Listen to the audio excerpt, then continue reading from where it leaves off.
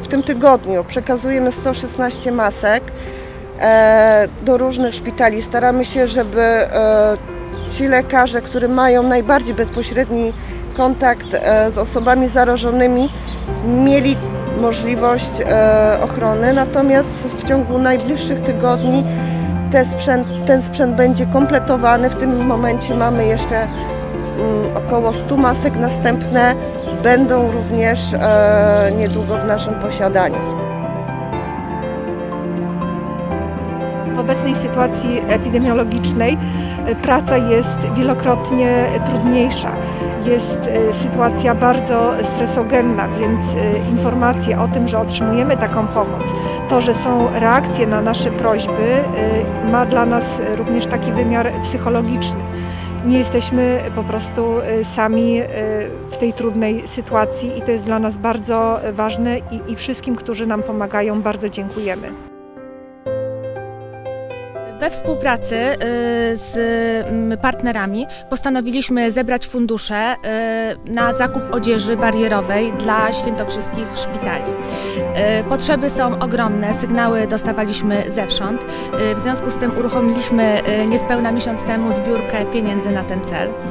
Dzięki hojności, szczodrości Kielczan i firm z regionu udało nam się zebrać kwotę, która pozwoliła na zakup adaptacji adapterów oraz y, zakup y, profesjonalnych filtrów y, do masek pełnotwarzowych.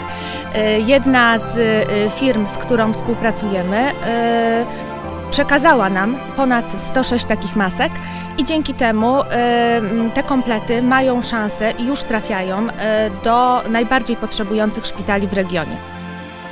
To, co dziś dajemy, to są pełnotwarzowe maski dla lekarzy.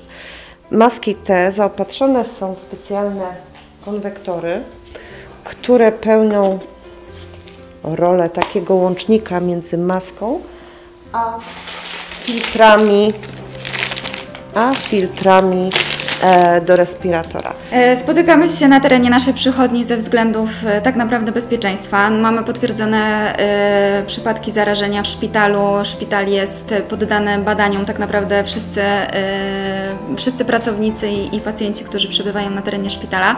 Dlatego dzisiaj spotykamy się tutaj i dlatego tak ważna dla nas jest pomoc, którą w tej chwili otrzymujemy.